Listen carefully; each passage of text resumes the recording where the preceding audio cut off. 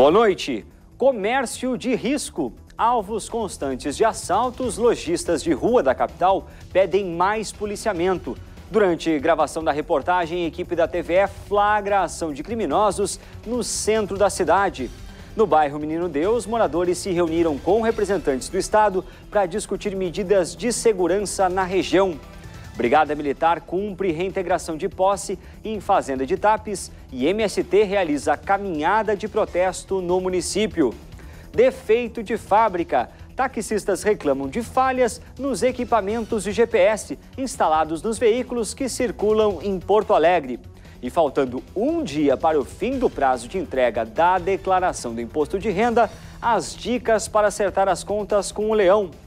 Manicômios em debate. Comissão de Saúde da Assembleia discute fechamento de residenciais terapêuticos dedicados a pacientes com transtornos mentais.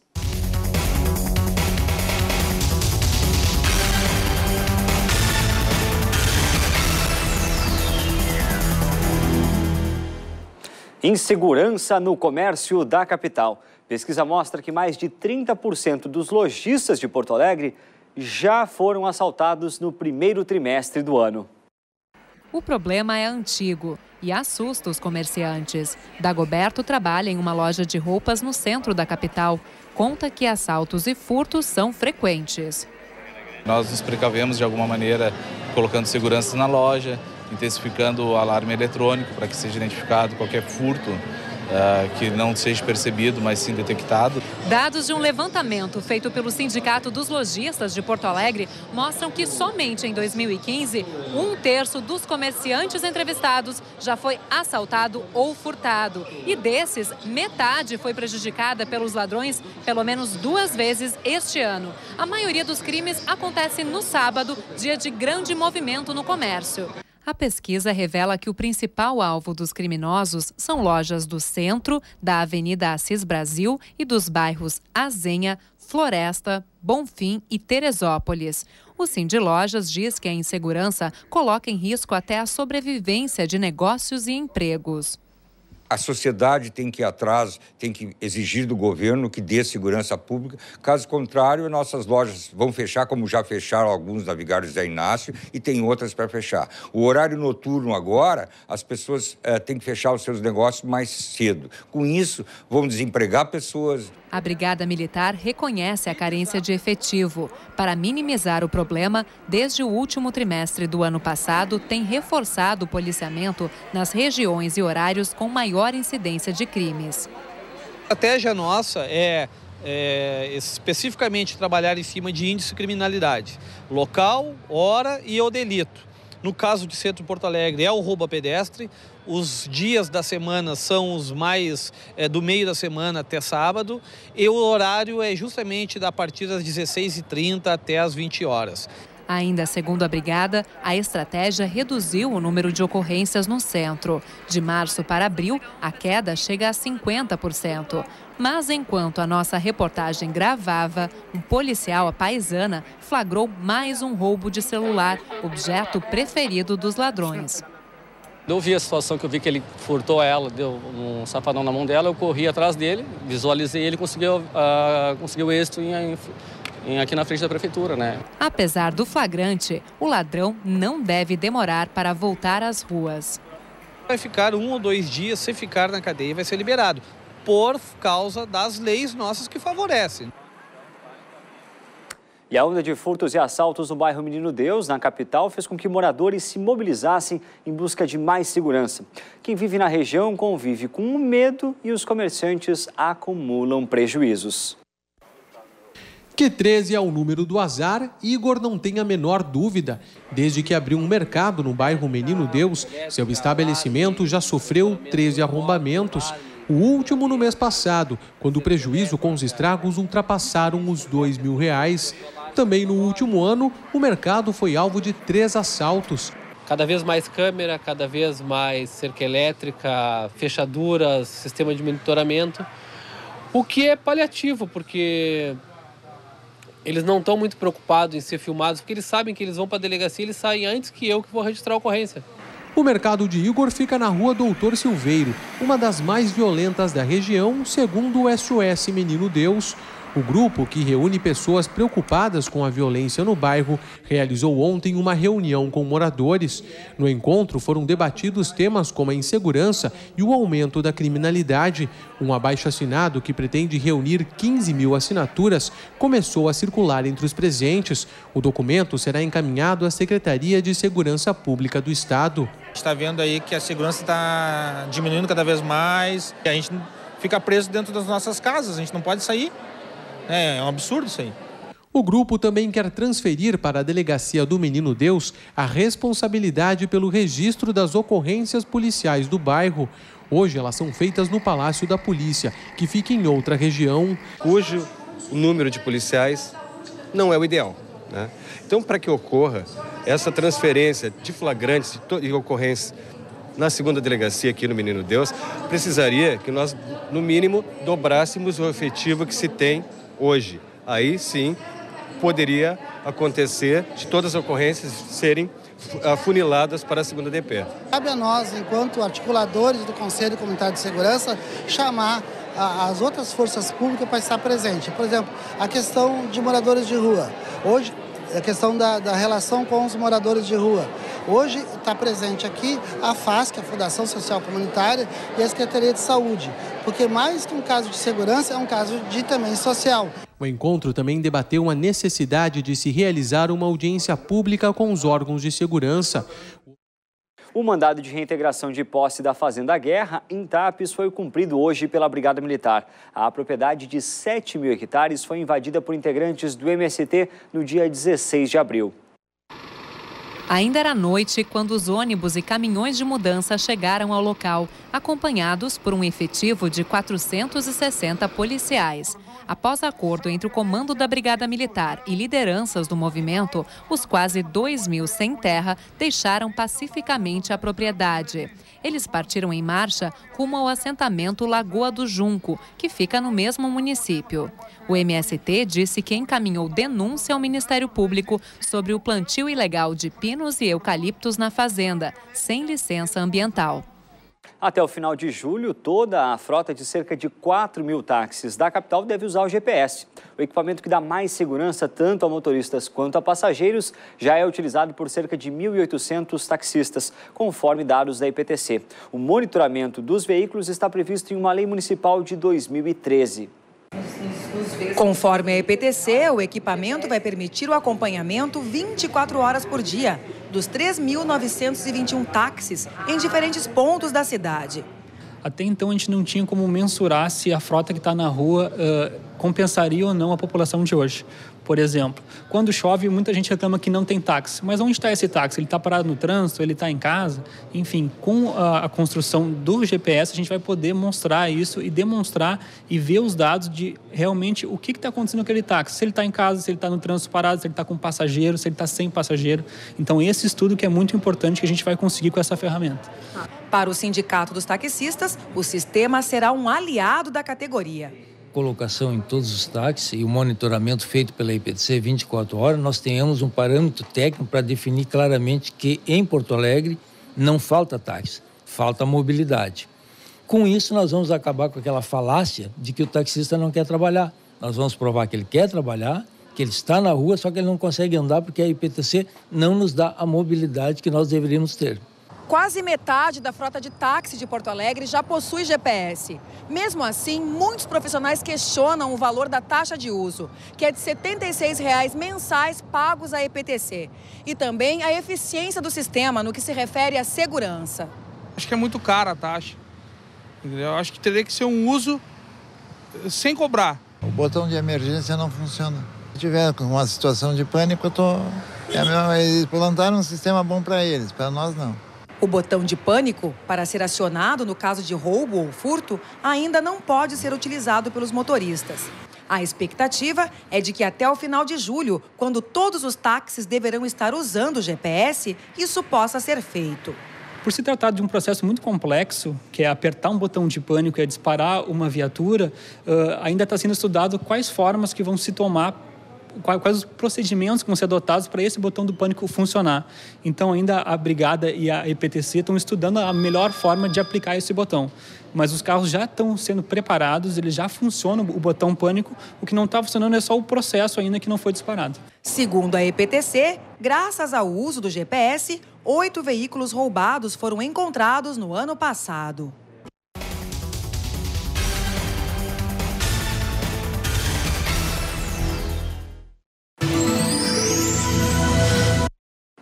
E vamos conferir agora a previsão do tempo para o centro do estado. Mas antes disso, vamos falar do Dia Internacional de Conscientização sobre o Ruído. E neste dia, um alerta. Os sons fazem mais parte da nossa rotina do que imaginamos e muitas vezes interferem na nossa qualidade de vida. Músicos 125 decibéis. Profissionais que trabalham em meio ao trânsito 120 trabalhador da construção civil 110, motorista de caminhão 95 decibéis.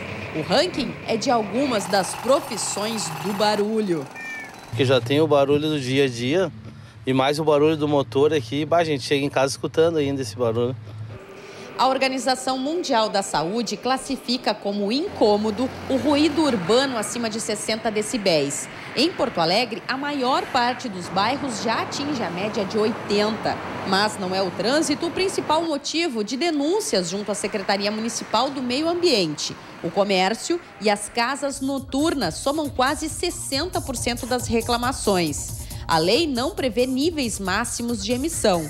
Para o estabelecimento ser notificado, multado ou até ter o alvará cassado, dependendo da gravidade, a medição com o decibelímetro é feita na casa do reclamante. Se mede o ruído de fundo que existe na cidade e se mede o ruído que a fonte, a, a casa noturna emite, e essa diferença não pode passar de 5 decibéis dentro da casa do reclamante. E a exposição ao ruído, seja ela contínua ou repetida, é uma questão de saúde. Os danos em relação à saúde dependem do tempo de exposição ao nível sonoro, o que não quer dizer que um nível sonoro baixo, um pouco tempo de exposição, não traga, não traga algum prejuízo para a qualidade de vida das pessoas. Ah, como, por exemplo, estresse, irritações, ah, taquicardia, né? alguns uh, distúrbios no sono, por exemplo, em quem mora perto de, de, atividades noturnas. E na saúde, propriamente dita, com o tempo de exposição maior, os riscos são mais sérios, né? trazendo prejuízos mais graves e permanentes. A perda da audição, problemas sérios neurológicos. E hoje também é o Dia Internacional da Dança. Em Porto Alegre, uma programação especial lembra a data que homenageia o nascimento do bailarino francês Jean-Georges Nover. O repórter Carlos Vogt está na usina do gasômetro, onde acompanha a programação e vamos falar com ele. Boa noite, Carlos. Boa noite, Olegário. Boa noite a você que nos assiste agora. Você aí de casa com certeza deve conhecer a música Tá aí, eu fiz tudo para você gostar de mim, da nossa saudosa Carmen Miranda. Mas com certeza nunca viram nada parecido com isso é que nas mãos da artista Luciane Soares, a música virou uma homenagem ao Dia Internacional da Dança. Nesse momento, a bailarina faz uma leitura da música, interpretando a canção com movimentos da dança contemporânea. Luciane trabalha com dança há 30 anos e escolheu Carmen Miranda para a homenagem de hoje por se tratar de uma figura emblemática da cultura brasileira.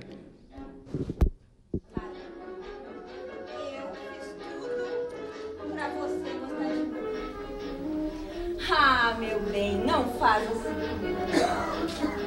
Você tem que me dar o seu coração. Essa história de gostar de alguém é uma mania que as pessoas têm. Se me ajudasse, nossa senhora, eu não pensaria mais no amor.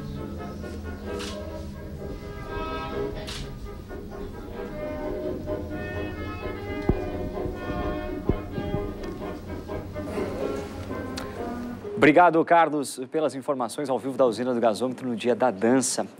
E você já enviou a declaração do imposto de renda? A Receita Federal do Rio Grande do Sul estima que quase 10% dos gaúchos não conseguirão entregar o documento até amanhã, o prazo final para acertar as contas com o Leão. E para dar mais dicas aos contribuintes nesta reta final, a gente recebe aqui no estúdio o supervisor da Receita no Estado, César Machado.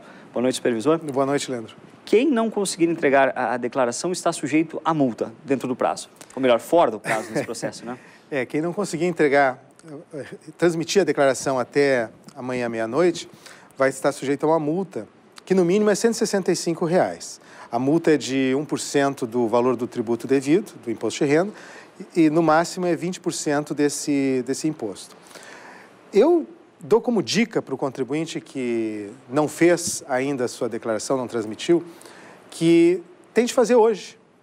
Hoje, na pior das hipóteses, amanhã de manhã, Pois é, porque eh, via de regra, né, na última hora o sistema tende a congestionar e muitas vezes não consegue Exatamente. finalizar o envio. É, pode acontecer isso, ah, porque faltam mais ou menos uns 15% no, no Brasil para transmitirem a declaração.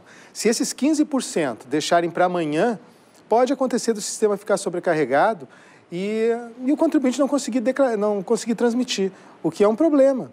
Vai estar sujeito à multa, né? E, e mesmo com os alertas, eh, a cada ano se repete a situação é, é de deixar para a última hora. É, isso é normal. É, eu acho que já faz parte da cultura do nosso povo. E, e nesse sentido, ou seja, a, a, multa pode chegar a mínimo 165 reais, mas ela pode ser maior. A multa, dependendo. Digamos que ele, que ele tivesse que pagar um tributo, um imposto de renda de 10 mil reais. Bom, ele está sujeito a uma multa de 1% sobre 10 mil por mês, limitado a 20%. No máximo vai ser 2 mil reais. Mas é um problema isso, né? Pagar 2 mil reais, ninguém está querendo pagar 2 mil reais. E no mínimo são 165 reais se ele não tinha nada a pagar, mas era obrigado a fazer a declaração, ele está sujeito a 165 ou 1% do valor do, do tributo. Se o tributo fosse pequeno, no mínimo 165 reais. E a Receita estima quanto tempo o cidadão leva para preencher o formulário e enviar? Depende, depende, porque cada contribuinte tem as características próprias. Depende da quantidade de bens, de aplicação em bolsa, se tem receitas é, do exterior, quantas fontes de pagamento. De, cada contribuinte tem a sua história. Quando tu não tens muitas fontes de renda, quando tu não tem muitas, é, muitos bens a serem declarados, muita variação patrimonial, fica mais fácil, até não demora muito. É questão do contribuinte se dispor a perder uma manhã fazendo a sua declaração e não vai, não vai ser mais do que isso, se ele já tem todos os documentos. O importante é que ele tenha uh, os comprovantes de rendimento, que ele tenha a relação das despesas do ano passado, para ficar fácil dele declarar. Claro, se ele está meio perdido, não sabe onde estão esses documentos, aí fica meio complicado para ele fazer. Mas eu sugiro que ele faça a declaração, mesmo que ele não tenha toda essa documentação, transmita a declaração antes de encerrar o prazo, para não ficar sujeito à multa. Uhum. E depois... É, é possível corrigir os dados Depois ele faz uma... Exatamente, aí ele faz uma retificação. E, e, nessa hora se percebe que a organização faz toda a diferença no processo, ou seja, o, o sujeito que guarda a documentação e separa ao longo de todo o ano para fazer a declaração é. em março. Se ele já tem tudo numa pastinha guardado, fica muito fácil. Hoje ainda tem mais uma facilidade.